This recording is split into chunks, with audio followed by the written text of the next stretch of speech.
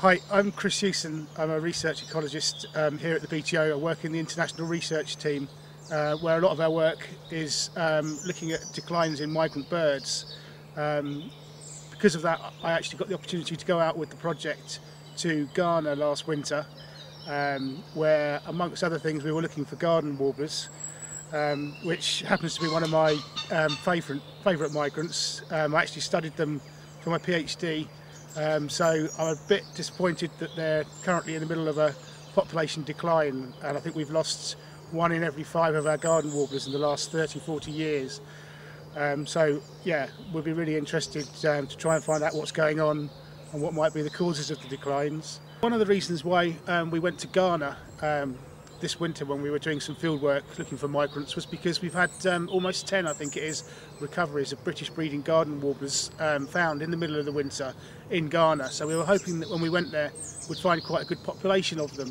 But one thing we noticed was that um, the habitat wasn't really um, suitable. We couldn't find the sort of fallow farmland and secondary woodland uh, where you'd expect to find them in the dense scrubby habitats um, at all commonly in the areas where we looked. Um, and our, our, colleagues from the Ghana Wildlife Society have told us that these are exactly the sorts of habitats that have disappeared from Ghana um, in the last 15 or 20 years.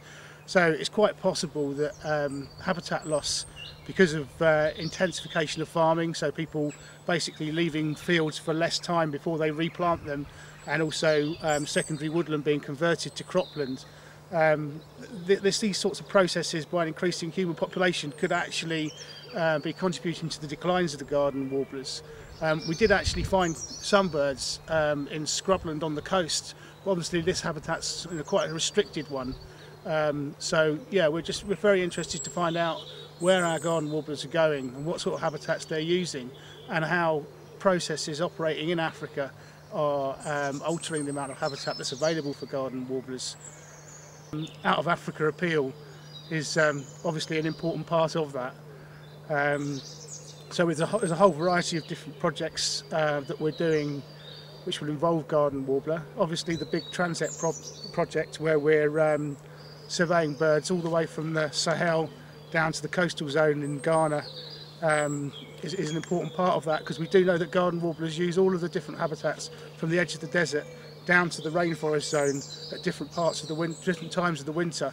When they come straight over from Spain and Portugal, um, they tend to spend a little bit of time in the Sahel um, feeding up after their journey across the desert um, before they gradually move further south as the winter gets um, drier and the habitats further north become less hospitable for them.